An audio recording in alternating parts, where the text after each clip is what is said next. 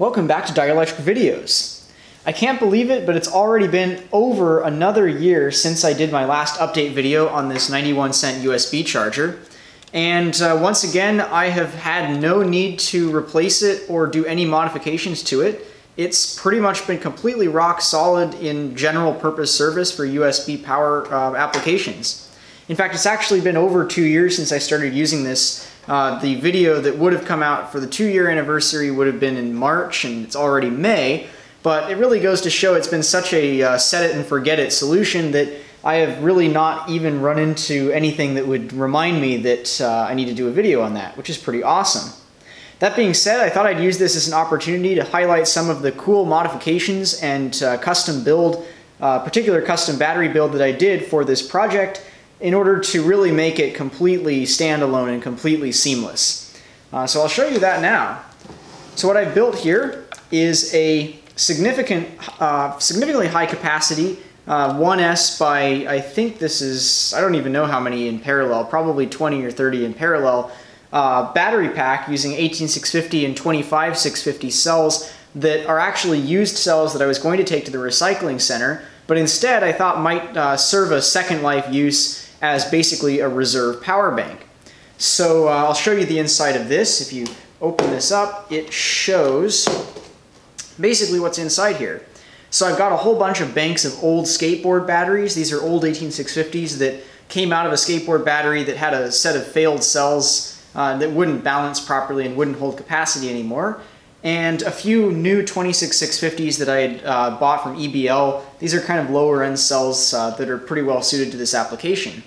Now this box uh, employs a TP4056 charge circuit to regulate the charge voltage. And I did a bit of custom work to get this to basically cut off charging at 4.1 volts instead of 4.2 since I wanted these batteries to last a long time in service and I knew they were going to spend a long, uh, large amount of their life basically at full charge. So what this is is basically a timer that intermittently disconnects the battery uh, bank every few minutes for just like a half a second from the power source, which basically causes the 4056 to go into its, uh, if it's between 4.1 and 4.2, it'll basically say that it's fully charged and it will not start charging again until it falls back down below 4.1. And then on top of that, I've basically added a couple of just USB power converters. These are uh, just step-up modules that go from the th 3 to 4.2 volts up to 5 volts. And one of these can do a 2 amp maximum, one of them can do a 1 amp, and they're basically just there for allowing me to use USB power off of this. Uh, so yeah, the main purpose of this box is basically to provide a uh, basically a really big buffer between the relatively slow rate uh, USB charger that makes about 300 milliamps and whatever devices I want to plug in, whether they be power banks, camera battery chargers, uh, AA and AAA NiCad chargers, my phone of course, uh, among all different other USB devices that I end up using. So this is basically the intermediary between these two devices. And in case you were wondering, I actually did completely discharge this down to 0% state of charge, or about 2.6 volts per cell, before I started charging it with the USB adapter. So this really has been charged from the ground up completely by only that USB charger. It did take two weeks to do it, but it eventually got there. And having the box also gives an additional benefit of safety and protection. If there was a primary to secondary isolation fault, uh, the box would not actually protect against uh, shock hazard, but it would protect the device plugged in from overvoltage. So if this suddenly started putting out like 10 volts, it would blow the 4056 out and it would the batteries would basically prevent any uh, surges from coming through the USB onto the other devices. So now that I've had this USB charger in service for over two years powering all of my devices, and it's proven itself to be both capable and reliable, I have to decide what I want to do with it next. One option is I could just continue using it. I mean, it's been a pretty good charger. It's shown itself to be reliable, and I have all the infrastructure set up to continue using it for general purpose charging.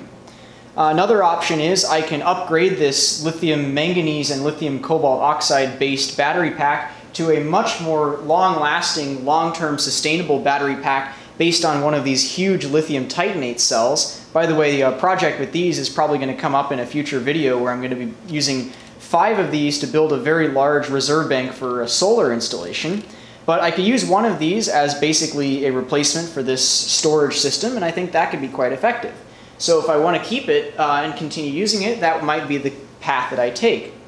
A second option, though, is that I could actually send this in to one of my other favorite YouTubers to potentially do a teardown and review.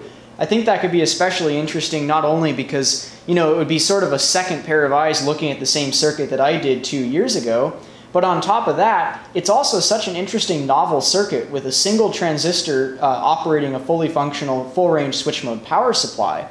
I think such an interesting design would definitely turn some heads over at the EEVblog, on Big Clive's channel, or maybe even on AvE's channel. Uh, so those, all of those places could potentially be interesting places to send this charger. I could also send it to Diode Gone Wild since he's actually done a lot of reviews on these dodgy USB chargers and in, uh, I don't think on any of his videos I've seen one with a single transistor topology. The closest thing I've ever seen looked very similar to this, but it had an 8-pin micro or an 8-pin switch mode power supply controller in it, not a single transistor. So pretty interesting stuff for sure uh, for whatever channel if I decide to actually send it off somewhere. So what I'm uh, interested in from you guys, the viewers, is uh, leave in the comments a suggestion for what I should do with this charger. Uh, should I send it to another YouTuber? Should I continue using it? Uh, should I try to do something else with it? Uh, maybe a different project or some other experiments with it? But let me know what you think in the comments. Regardless though, thank you for uh, watching this quick little video on what I've worked on and what I've done over the last year with this charger, and I hope you continue watching uh, in the future. See you next time.